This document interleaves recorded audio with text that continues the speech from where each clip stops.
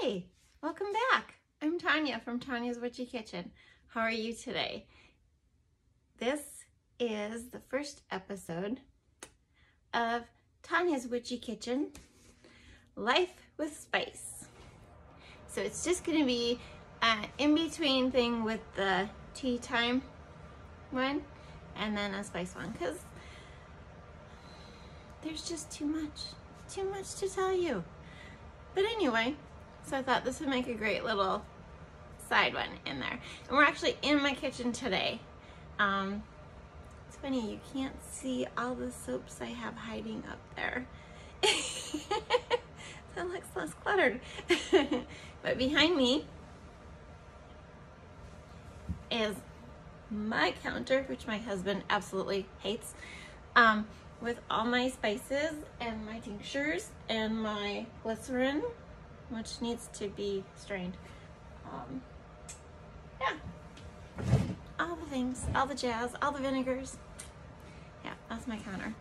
Um, but anyway, yeah, so I decided that, you know, a lot of people like delving into the world of spice and um, cooking and how important these herbs and spices are to our bodies. Like, gosh, beneficial, right? Like who doesn't have inflammation? Who doesn't have, um, mm, what's a good word? Problems, right? We have a brain. The brain is, you know, our main functioning system, but our gut is the second brain to our bodies. Literally, the second brain. So important. So important. And so the first spice set we're gonna do is one that is in every American kitchen and every restaurant you get to. Whoops, sorry. I shoved my shoved my phone or my camera. Um, it's salt and pepper. And I know it's so basic and you're just like, oh, you know, what the heck do I need to know about salt and pepper? Lots of things. Lots of things. Um, don't take my word on it. Like check with your own practitioner, but we'll just we'll just stick to the voodoo doctor. So when I refer to him, he's he's the voodoo doctor. Okay. Now he tells me that uh, like sea salt, pink Himalayan salt, those do not raise your blood pressure because of the mineral content in them. I don't know that for a fact. That's what he said. And I've also had a doctor, another doctor, say that salt is so beneficial to our bodies. Good salt. Okay processed salt versus good salt, okay? Two different things.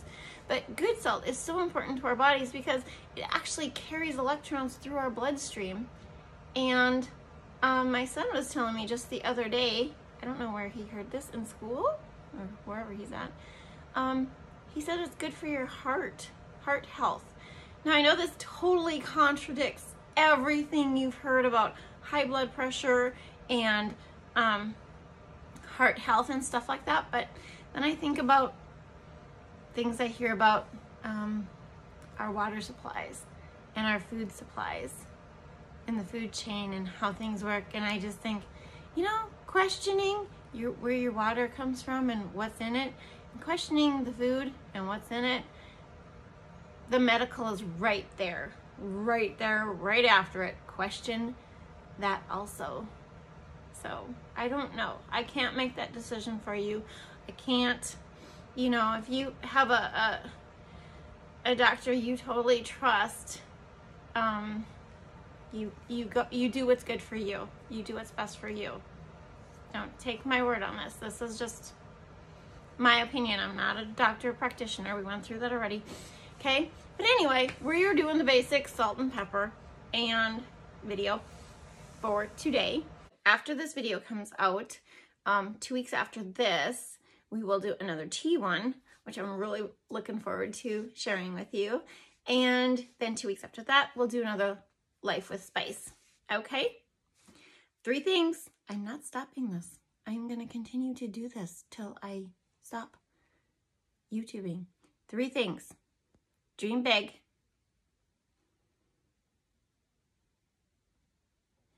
I forgot it.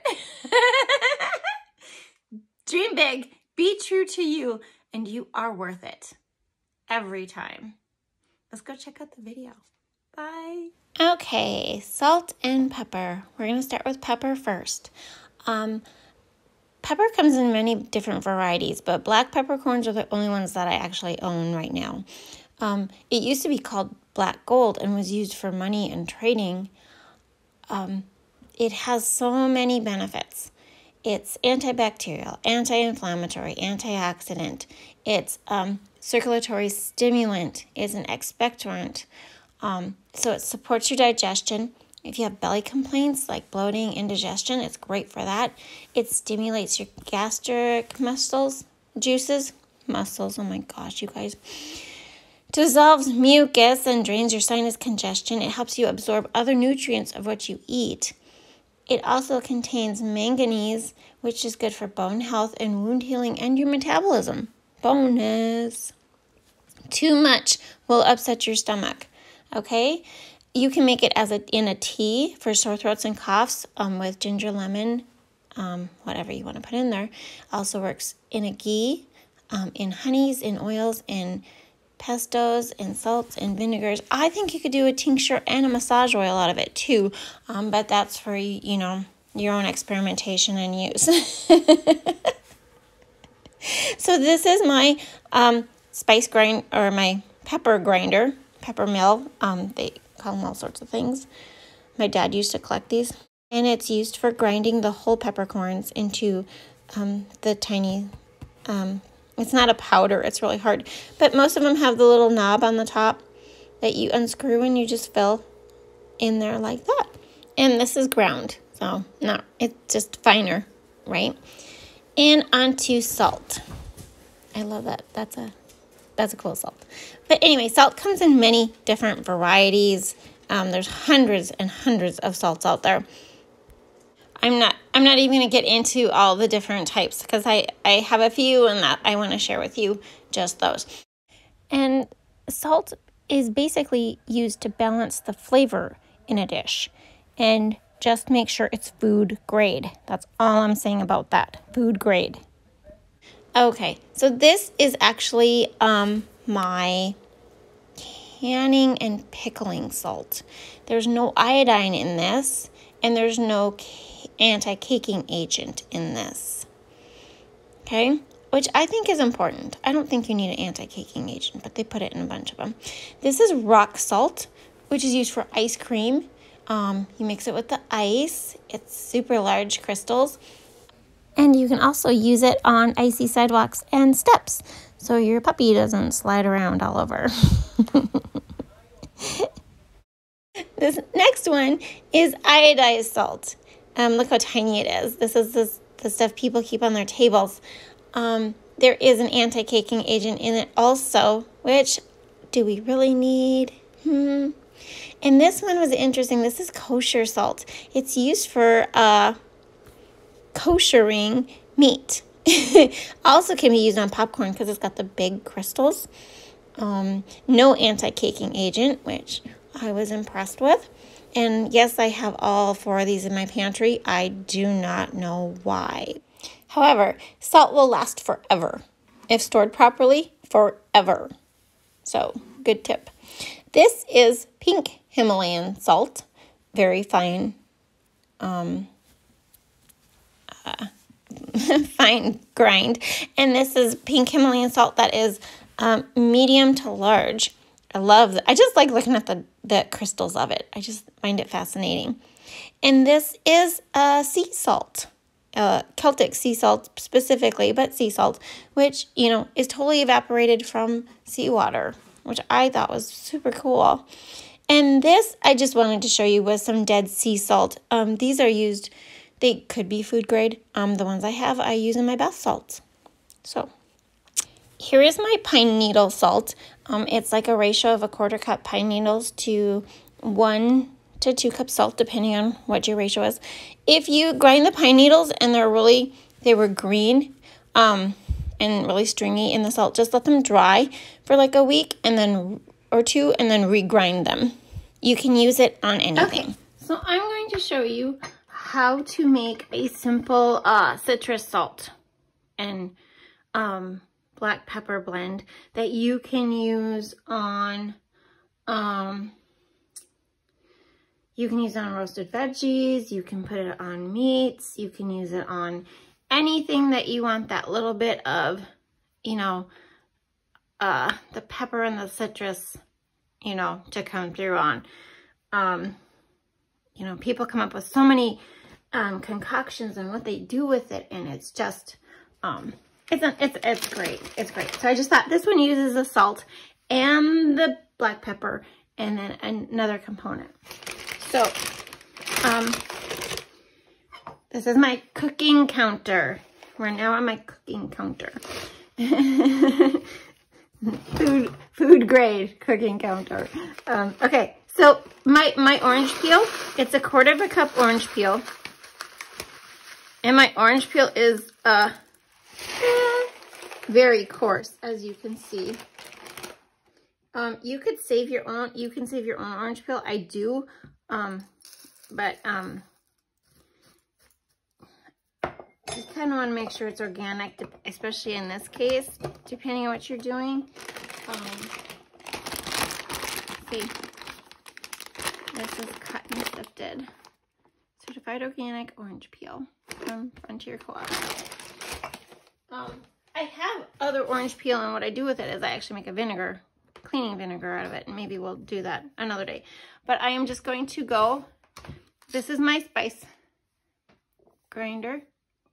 It's a coffee grinder. But um, yeah, just spices go in this one. So I have to hide it from my husband. Um, but yeah, so I'm just going to go blend this up really quick so that it's kind of the same size as the other stuff. Um, this is the brush I use. I should get a better one. This is I should get a stiffer brush. Um, just to kind of clean up my um, spice blender. I know I had cumin in here last because I ground some cumin for my daughter. Um, but a little bit of spice blending ain't gonna hurt anybody. If it was really bad, I'd wash it out, but otherwise, eh. Okay, so it's a quarter cup of, oh, and I wasn't gonna dump it in there. Oh well, I'll just use this.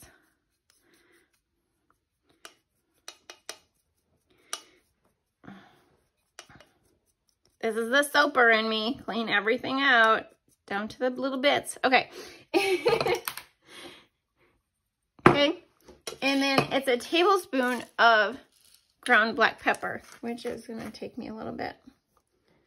What else could you do with this besides, you know, your veggies and your meats, which is typical, you know? Um, you could probably mix, take a little bit of it and mix it with an oil and vinegar and like put it on a salad. That'd be really good. Or just sprinkle it on your salad but if you have digestive problems, you know, it probably wouldn't be a bad idea to get um, more black pepper, more um, of the digestive um, herbs or spices into your diet. Um,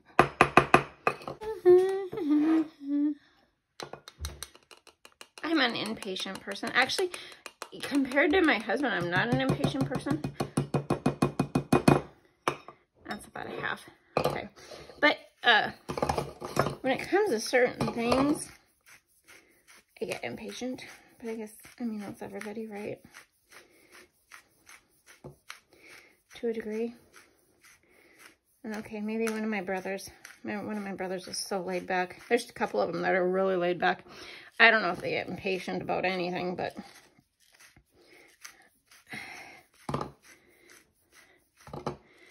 this might have to do. Okay, we're going to mix up half a batch. How's that? I'm just going to take this off. And should have weighed it. That probably is, that probably is a, uh, since mine was so coarse. So a quarter cup very fine orange peel. And then we'll go half a tablespoon. see me improvise, um, black pepper. And then I'm going to use my pink um, Himalayan salt, the fine salt. I'm not going to show you the brand because this brand, well, this is a good brand, but this isn't the brand that's in here. uh, sorry, but this is a good brand. I bought it on Vitacost. Um, okay, and so I need, we're doing half, so I need just one tablespoon of my salt.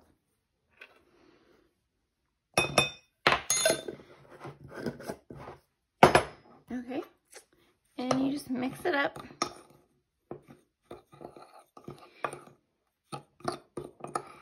And the key to using these, like my pine salt is right, I store my pine salt right beside my, um, right beside my regular salt. So sometimes I'm like, oh, pine salt sounds good. You, you gotta use your intuition. You gotta, you gotta build your intuition when you're doing spices and stuff like that. Because sometimes I'm like, oh, we're gonna do the Himalayan. And then out of the blue, I'll be like grabbing it and it's like, nope, we're gonna do the pine salt. Because sometimes if you listen to your body, it, it needs something and, you know, there's a reason it might be like, okay, but hold this on. Not when it's telling you to buy all the bags of Cadbury egg, uh, chocolate Cadbury eggs in the Easter section, okay? No, that is not, an, that's not your intuition telling you that. I'm sorry. No, no, no, no. okay, but so what you want to do with this is to keep it with your other salts so that it's right there. So what you think about it and you can use it instead of your regular salt. Otherwise, if it's in a jar, put away in the cabinet, you won't even think about using it. See something with that, but see? Oh, it smells interesting. Oh, cool. Yeah. So there's the uh, citrus salt. Really easy to do. Um, if you have your, if you buy an organic orange, a lemon would be good in this. Oh yeah, on fish. Oh, that'd be good. Just an organic one, peel it, okay? Put it away, but make sure it's got lots of air. Like, I don't know if it takes a week or what, but till it's crumbly dry. And then just put it in your grinder and grind it up and you'll have your, your, your little thing. You don't need a whole 10 pound bag of oranges or whatever. You just need one or two. That was simple.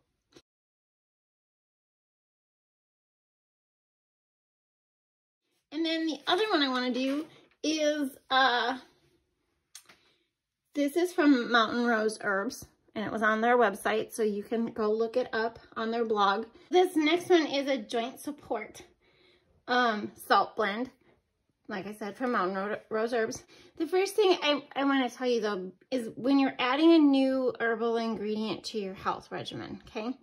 Like most of you have eaten oranges or whatever, so I wasn't worried about that one. Um, but do some research and consult your health care practitioner just because I don't know. Sorry about my camera. I don't know what your health concerns are. Um, sometimes uh, this contains turmeric. Here's my beautiful turmeric jar. Um, and some people can't have it for various reasons, okay? Um, we're gonna start with one teaspoon black pepper, which I ground already, so you don't have to watch me grind it. And one teaspoon of the pink Himalayan salt, okay? Um, oh crap, oh crap. I have to grind my, this is my ginger root. Can you see it? It's, um, so it's not, it's, uh, oh, what is it? It's, it's like shredded. It's not fine powder, um, which I like because when the kids make teas, you know, um, yeah, they actually drink ginger tea when they're desperate. Um, okay, and then it's two tablespoons uh, no, two teaspoons. I call that good. Um, Sorry, I heard a chicken and it sounded like a cat dying. But anyway, um, yeah. So, yeah, lose my train of thought. So I have to grind this really quick. This is just something, you know, you can put on anything you put salt and pepper on with a little bit of herbal aid to it. Okay, hang tight. I think my dog left. Um, you know, but there's so many benefits of salt and so many different benefits of black pepper. Um, and so many different benefits of ginger root and turmeric. Okay. So yeah, it's, it's anti, you know, this is supposed to be, it's probably the anti-inflammatory parts of it. Um, I'm sure that's what they're looking at. But, I mean, you know, there's so many other health benefits you can get out of it that, you know, you so, but this is what, you know, Mountain Rose Herbs calls it their joint, joint health blend. And they have a good, you know, like I said, um, consult a doctor if you've never eaten turmeric or something, you know, in your life. But this is just your, you know, it makes this little small batch. You know, you're not going to use the whole thing. I mean, you could probably put this, a teaspoon in soup, a pot of soup, you know. But otherwise, just, you know, sprinkle it on. Um, or drink it as a tea.